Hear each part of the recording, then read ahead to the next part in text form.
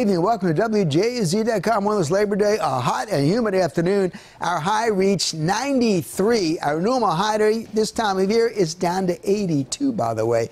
So we're going to run about 10 degrees above normal for the rest of the, really for most of the week. 89 in D.C., 86 now, 81 in Salisbury, 80 in Ocean City, 92 La Plata, and only 73 degrees out in Oakland. They pretty much missed the heat this summer for the most part. Shower activities dying out near Milford and Dover, Delaware, just about gone. Around the Baltimore region, we had one pretty good shower south of the city. It's dissipated, and also near Annapolis. It's also now gone. One little shower near Potomac now gone. So overnight tonight, just look for a very humid night. In most areas would just be clear. A few clouds, maybe a little fog in the morning hours is possible. Most of the activity well to the north of us, it's going to take a while to get here. Probably not until late Thursday night will we see a better chance of some scattered shower activity. And then on Friday, another chance for the frontal boundary close to the region. In the meantime, just continued heat and humidity for the next three days.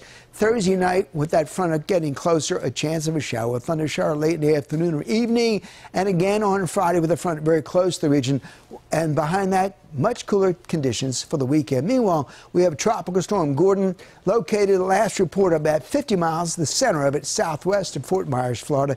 However, Fort Myers has only picked up about a half inch of rain.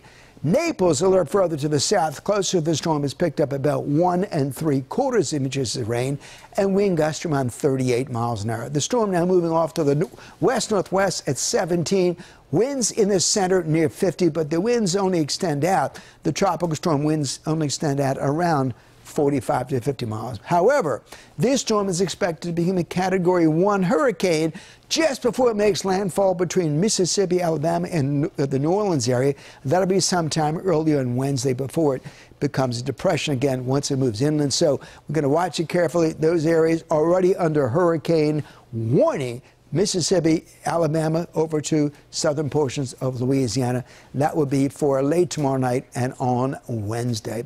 On our bay, water temperature at 83, perhaps a scattered shower, although chances aren't that great. Tonight, just warm, humid 74 by morning. In the city, may not drop below 79. Tomorrow, hot and humid again, 93. Shower chances are slim until we get to maybe Thursday night. Still humid, 93, 93, 85 showers likely on Friday. Chance of a shower, although just cloudy and much cooler on Saturday. Shower possible for the Ravens game on Sunday. I have only 79 and a little warmer and also sticky again on Monday. Shower, thunder shower, 83 degrees to start next week. So summer is going to linger at least for the next three days or so. Have an updated forecast late tonight.